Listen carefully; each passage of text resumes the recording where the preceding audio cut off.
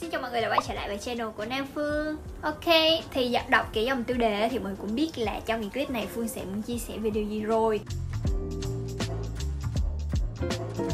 Thì cái lý do mà phương muốn làm cái clip này á là tại vì phương cảm thấy là có khá là nhiều bạn chưa chú trọng lắm đến cái việc tẩy da chết dành cho da mặt. Mặc dù cái việc đấy chúng ta chỉ làm 2 đến 3 lần một tuần thôi nhưng mà phương thấy nó rất là quan trọng trong cái chu trình skincare của chúng ta. Còn lý do vì sao thì lát nữa phương sẽ giải thích nhé và ngày hôm nay thì phương sẽ giới thiệu cho các bạn à không phải giới thiệu nữa mà chỉ là chia sẻ bốn loại tẩy da chết mà phương đã sử dụng qua cũng như là nêu lên những cái ưu điểm và nhược điểm của từng loại để các bạn có thể uh, lựa chọn những cái phù hợp với lại bản thân mình nhu cầu mình và đại gia của mình nhé thật sự hồi trước á, khi mà mình mở bắt đầu skincare mình không hề biết đến cái việc phải tẩy da chết không hề có khái niệm đó trong đầu luôn. Lúc đó là chỉ có sự rửa mặt rồi à, dưỡng ẩm các thứ thế thôi. Nhưng mà sau này khi da mình nó gặp nhiều vấn đề hơn như kiểu mụn nè, da bị giảm đi nè và nó có bắt đầu sừng sùi trên da thì mình mới đi tìm hiểu và mình mới biết được những cái nguyên do như thế này. Để giải thích cho cái vấn đề này thì nó khá là dài, nhưng mà mình sẽ tóm tắt lại như sau. Mọi người có thể thấy là bề mặt da chúng ta những cái lỗ chân lông là nơi á, để có thể mồ hôi này dầu nhờn cái thứ nó bắt đầu nó tiết ra. Và đó cũng là cái nơi mà bụi bẩn cái thứ ở bên ngoài nó ập vào. Yếu tố bên trong đẩy ra yếu tố bên ngoài ập vào mà nó bị tắc nghẽn lại. Nếu như mà chúng ta không dọn sạch cái đống đấy á nó sẽ hình thành nên mụn ở cái lỗ chân lông đó của chúng ta. Đó là lý do tại sao chúng ta lại mọc mụn. Cơ thể của chúng ta là một cơ thể sống, cho nên hàng ngày nó sẽ sản sinh ra rất là nhiều những cái tế bào mới. Đồng nghĩa với việc nó sẽ đào thải những cái tế bào chết ra ngoài. Nhưng mà không phải là nó sẽ rớt rớt rớt ra đâu, mà nó sẽ vẫn còn trên da của chúng ta, cộng thêm cái việc mồ hôi, dầu nhờn, bụi bẩn, tất cả mọi thứ nó cứ biết tắc lại ở cái lỗ chân lông đó mà nó không thể nào thoát ra được. Nếu chúng ta không dọn sạch thì chắc chắn nó sẽ gây rất là nhiều cái vấn đề. Mụn ẩn, mụn viêm, mụn mủ mụn bọc, tùm lum hết. Đó là cái việc tại sao chúng ta phải chú ý đến tẩy da chết. Nghe thì rất là đơn giản để có thể xử lý gọn nhẹ những cái vấn đề đấy. Chỉ cần ra ngoài mua một cái loại tẩy da chết cho da mặt là ok rồi. Nhưng mà trời ơi, nó có rất là nhiều những cái loại tẩy da chết và chúng ta biết phải chọn cái gì đây. Ok, chúng ta sẽ qua cái phần chính của video clip ngày hôm nay nhé. Đầu tiên sẽ là tẩy da chết dạng scrub. Thì ở đây mình sử dụng của Estee Ives Thì trong nguyên một cái bộ siêu tập tẩy da chết của cái nhà này á Thì nó có rất là nhiều hương, nhiều mùi. Nhưng mà mình cảm thấy là cái trà xanh này nó có cái hạt scrub nhuyễn nhất và nó khá là an toàn trên da. Bởi vì các bạn biết sao không? Nếu như hạt scrub quá to khi mà chúng ta apply lên da chúng ta chà thì nó sẽ rất là dễ gây tổn thương cho da. Và về cái ưu điểm của em này mình cảm thấy là giá nó rẻ nè rất là dễ mua uh, dễ tìm mua ở tất cả mọi nơi. Và cái độ sạch của nó thì mình cảm thấy nó cũng khá là sạch đấy. Còn về cái nhược điểm á, thì mình thấy là những cái bạn nào da khỏe da bình thường á, thì có thể sử dụng được. Còn những bạn nào da quá nhạy cảm á, thì uh, hơi khó sử dụng.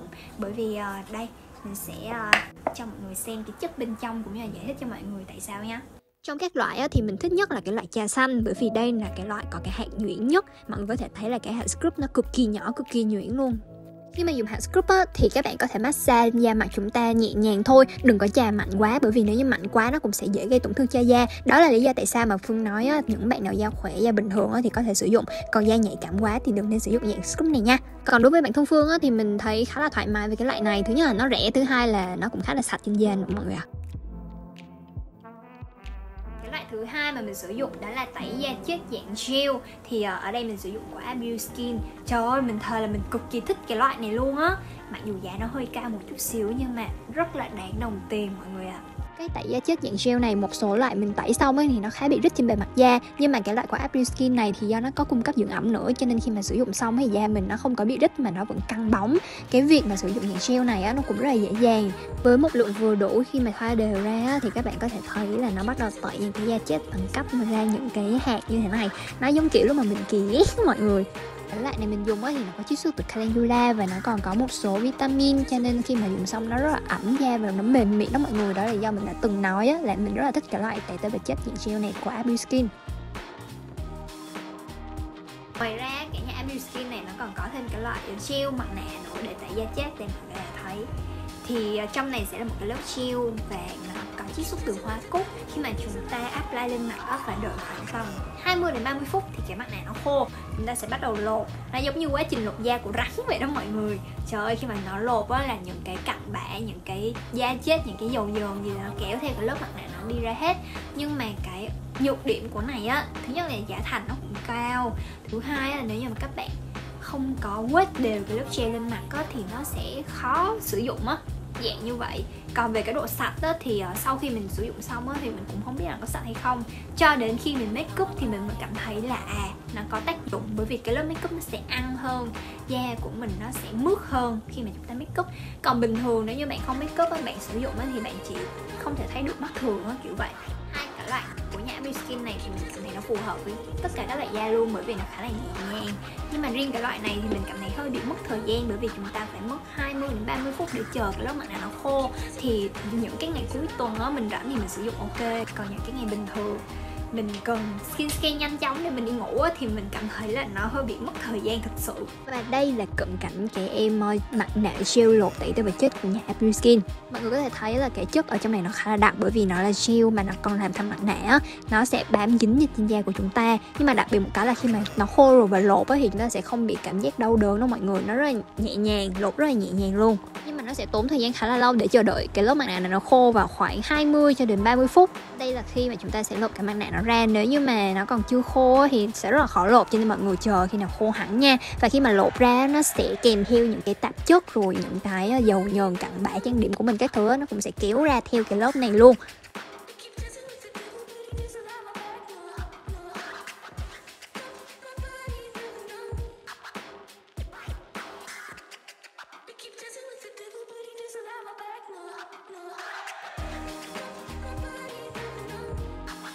Ba lại vừa rồi Phương chia sẻ là theo dạng tẩy da chết vật lý. Tức là mình chỉ uh, sử dụng nó để giải quyết những cái vấn đề trên bề mặt da của chúng ta chứ nó không hề thẩm thấu hay là ảnh hưởng gì ở dưới cái lớp da của chúng ta hết. Và ưu điểm của nó sẽ là rẻ hơn tẩy tế bào chết hóa học. Và nó làm sạch da chúng ta ở mức độ khá là căn bản nói chung là cũng được. Nhưng về công dụng á, thì mình vẫn thiên về tẩy tế bào chết hóa học nhiều hơn bởi vì nó mang lại cái lợi ích cho da nhiều hơn. Về tẩy da chết hóa học á, thì mình thấy có hai loại nổi tiếng nhất, an toàn nhất đã là Choice hay là của Obagi thì uh, mình đang sử dụng của Obagi thôi mình cũng chưa sử dụng cái em này nhưng mà nghe review á, thì nó cũng khá là ok. Còn cái trải nghiệm của mình về Obagi á, là là như thế này. Bởi vì nó là cái dạng hóa học cho nên khi mà các bạn sử dụng á, mình khuyên các bạn nên đi tìm những người đã từng sử dụng rồi để hỏi về cái việc uh, nó phản ứng như thế nào trên da của họ. Sau đấy thì mình sẽ nghĩ coi mình có phù hợp không và khi mà mình sử dụng á, gặp cái tình trạng như vậy mình cũng không bị quá lo lắng không bị quá hoảng sợ. Mình biết tới cái ờ, này á, là do bạn của mình tặng mình chứ lúc đầu mình cũng không hề có ý định sẽ thử tẩy da chết hóa học bởi vì trời ơi nó mắc lắm mọi người. Cái chai như đây thôi nè. 900 mấy gần một triệu cái chai này. Mình đâu dám bỏ tiền ra mua đâu sót lắm chứ. Thì uh, bạn mình tặng mình một chai rồi mình mới bắt đầu thử. Nó dặn mình á là mới bắt đầu á thì đừng có nên dùng quá nhiều. Chỉ làm một cái lượng rất là nhỏ sau đó bôi lên da và cách một ngày dùng một lần. Mình kiểu thấy nó mát mát mọi người thấy nó the the mát mát thế là hả lại quá trời lên da luôn.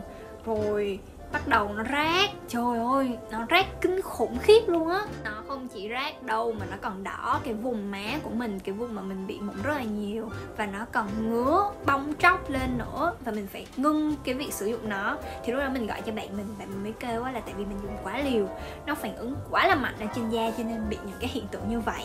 Đối với người lần đầu tiên sử dụng á, sử dụng ít thôi, lấy ít thôi để da từ từ quen với cái việc đấy. Nó không phải là bị dị ứng hay là bị cái gì quá là khủng khiếp chỉ là nó bị kích ứng do da của mình chưa quen với những cái thành phần hóa học đó. Thì uh, sau một tuần da của mình dịu lại rồi á đó thì là cái lúc mình cảm nhận được cái hiệu quả rõ rệt nhất. Phương với lại bạn của Phương á, thì có cái trải nghiệm rất là khác nhau trong cái việc sử dụng Obagi nhưng mà cái nào cũng đều tích cực hết. Thứ nhất có bạn của Phương kể là khi mà sử dụng á, thì những cái nhân mụn hay là những cái nơi mà nghĩ là không có mụn nó cũng sẽ đẩy mụn lên và xử lý những cái nốt mụn đó rất là dễ dàng còn về bản thân Phương á, da của Phương là một loại da nó tiết dầu khá là nhiều cho nên rất là dễ mọc mụn. Thì cái rõ rệt nhất của cái Obagi này nó làm giảm được cái sự tiết dầu nhờn trời ơi cực kỳ thích luôn. Da nó không còn bị đổ dầu đổ bóng dầu nữa mà lỗ chân lông nó thông thoáng hơn bề mặt da nó đều màu hơn nó mướt hơn.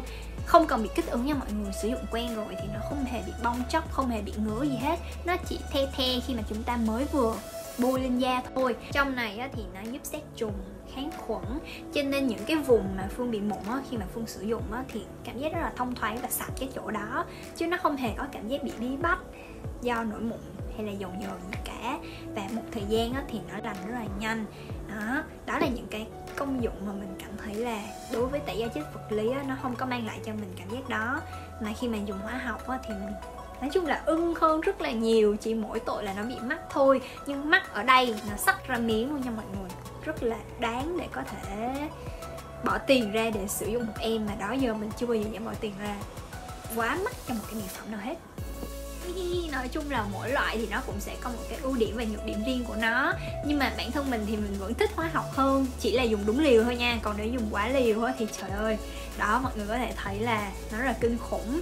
Và mỗi người thì cũng sẽ có một nhu cầu và có một cái khoản đầu tư nhất định cho những cái mỹ phẩm mà mình mua. Cho nên mình hy vọng là qua clip này thì mọi người có thể lựa chọn cho mình được một cái dạng tẩy da chết phù hợp cho da của mình cũng như là túi tiền của mình nha. Nhưng mà nhớ quan trọng là nên tẩy da chết 2 đến 3 lần một tuần nha mọi người. Còn nếu không á, da chúng ta sẽ rất là dễ bị sần sùi và không có đẹp đâu. Ok, cảm ơn mọi người đã xem hết clip này của phương và nhớ cho phương một subscribe cũng như một like cho video clip này nhé bye bye mọi người.